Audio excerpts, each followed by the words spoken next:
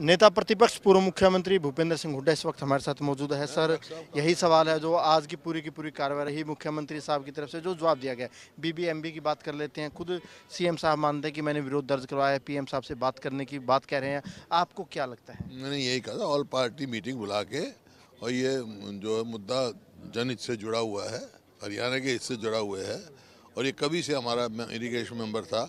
अब जो तरमीम कर रहे हैं कानून में मतलब मेंबर के उसमें उनका केंद्र का कोई अधिकार नहीं क्योंकि ये जो बीबीएमबी बना है वो रीऑर्गेनाइजेशन एक्ट में बना है।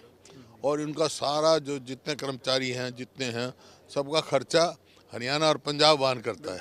और उनका पहले से फैसला है। एक सर एनसीआर की बात कर लेते हैं। सीएम साहब कह रहे हैं कि जो एनसीआर का दायरा है वो घटना चाहिए। आपने कहा था कि घटने से नुकसान रहेगा। तो आज भी इस बात का हूँ और हमने भी बढ़ाया इनके समय में बढ़ा एनसीआर का जो दायरा है बढ़ने से नुकसान नहीं होगा लाभ ही रहेगा आज भी मैं इस बात को इसके अलावा सीएम साहब ने जो जवाब दिया है चाहे रोज़गार की बात करें जो तमाम मुद्दों की बात करें उनके जवाब से कितने संतुष्ट हैं आप?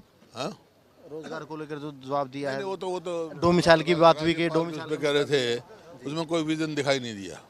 डोमिसाइल तो मूलभूत हरियाणी को बहुत इसमें नुकसान है खासतौर पर जो शेड्यूल कास्ट है और बैकवर्ड क्लासेस हैं जिनकी रिजर्वेशन है गवर्नमेंट सर्विस में उनको भी जो मूलभूत हरियाणियों को जो है नुकसान होगा। एक आखिरी सवाल है सर जो कादियान साहब का निलंबन था वो रद्द कर दिया गया। अब नया फैसला तो स्पीकर साहब का कैसे देखते हैं?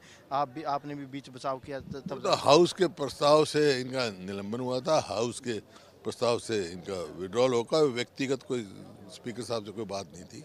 बिल्कुल, ये थे हुड्डा साहब। हुड्डा साहब का यही कहना है कि बीबीएमबी के मुद्दे पर प्रदेश सरकार को एक सर्वदलीय बैठक बुलानी चाहिए। वहीं भूपेंद्र सिंह हुड्डा का मानना है कि जो एनसीआर का दायरा है, वो घटना नहीं चाहिए। एनसीआर का दायरा घटने से प्रदेश को नुकसान होगा।